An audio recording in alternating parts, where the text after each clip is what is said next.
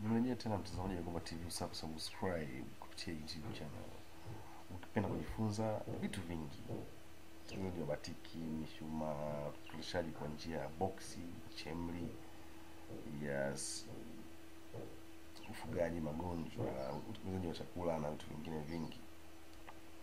Namba ya simu sifuri saba sita mbili tisa tano sita tatu sita sita. Mimi ni Agomba. Sasa katika upande wa kitu kingine nitajifunza leo, kuna watu ambao huwa hawajafahamu kidogo.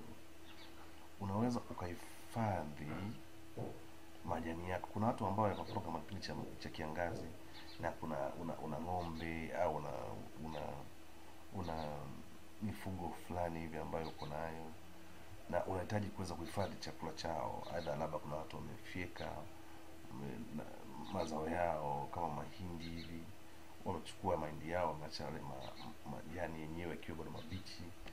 Kuna namna ya kuweza kuhifadhi au majani ya aina yote ambayo ni chakula kwa ajili ya mifugo yako. Kuna namna unaweza kuhifadhi kutumia njia rahisi sana. Sio wote wanaelewa, wapo wanaelewa, wengine hawaelewi. Kwa hiyo hii inaweza kusaidia hata wewe kama unataka kujifunza zaidi. Ukiangalia video hii utajifunza, unaweza kufanya mwenyewe na ikakusaidia. Lakini sema usahau kusubscribe, penda kushare videos na marafiki, ndugu na jamaa, basi unaweza kufanya hivyo. Je, sasa tunafanyaje fanyaje? Kwa mfano ukitaka kufanya hivyo, njia ya kwanza unachukua una una unachimba shimo, unachimba shimo, inaweza kuwa labda la futi sita futi tatu nne, mtegemeana na kiungu gani cha hayo vyakula vyako hivyo unataka kuvihifadhi, kwa maana ya hayo majani. Kwa mfano sisi tuseme sasa tunachukua labda kama labda ni labda ni futi sita, kwa mfano, huu ni mfano futi sita, unachukua mfuko mmoja wa chumvi ule wa kilo ishirini na tano unaukata katikati, kata katikati, unachukua na ndoo ya maji. Unaweka nusu yake, manake ni kilo kumi na tatu ya chumvi na nusu, kumi na nusu. Unaweka unaweka kwenye maji, unakoroga. Sasa hapa tayari umeshachimba shimo lako? Na tayari pia pembeni yake una mazao yako yale, kwa maana ya kwamba yale majani yako umesha yahifadhi, labda yurundikana na ni mabichi. Kwa hiyo cha kufanya hapa, kinachofuata unachotokea kufanya, unafanya hivi unaenda zako moja kwa moja unachukua mm, hiyo hiyo shimo umeshimba, unachukua labda kitu kama kama kama mfuko au majani yoyote, unaanza katanguliza kwa juu. Ukishatanguliza kwa juu, unachukua sasa chumvi yako unaweka kwenye maji, unakoroga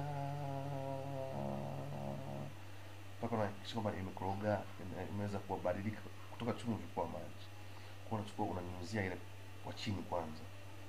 Pale ambapo ulipoweka majani umeotanguza chini kwanza.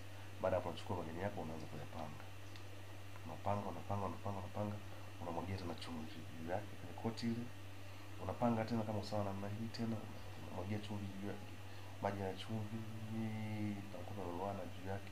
Tena, unapanga tena hivyo hivyo, unakuwa unamwagia unamwagia unamwagia. Basi baada ya hapo unaanza ukafunika sasa.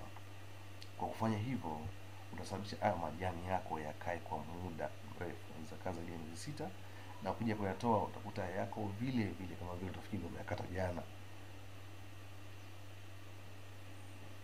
Kwa hiyo hiyo ni njia ambayo ni loko kabisa, unaweza ukahifadhi majani yako kwa ajili ya kuwapa mifugo yako baadaye, na hii itawasaidia kwa wale ambao wana mifugo ambayo wanahisi kwamba chakula inakuwa ni shida. Kwa hiyo unaweza kata kutoka yako ya kutosha, kwa kipindi cha kiangazi ukawa na majani ya kutosha kuweza kuwapa eh, mifugo yako.